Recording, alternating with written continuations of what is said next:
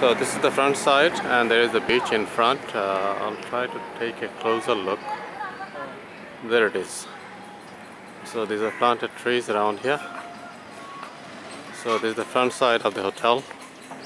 And these are the cottages from the front side. And there is the hotel. What's the half round archive arc shaped hotel? I think how many six stories. This is Prashad Paradise Hotel. I think only four car parking here, but these are the cottages and the front entrance is here on the side.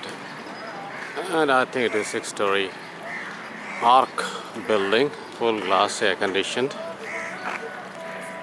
And inside there are more cottages. Okay, that's it. The Shandakalin evening scenario uh, in Cox's Beach. The sun has set.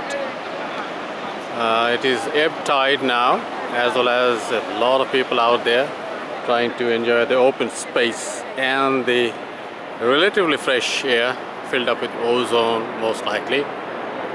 And these are the crowd. Even in the beginning of winter, it's huge crowd, at least a couple of thousands and the lineup of beach umbrellas are there. Most of them are unused. It was high up in the morning during flow tide. Those are the distant hotels and resort for the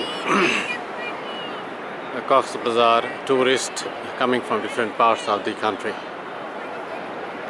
So that's about it uh, these are the chowbans they call it in Bengali this uh, coastal well wave resistant uh, forestry. It is usually done by the forestry department.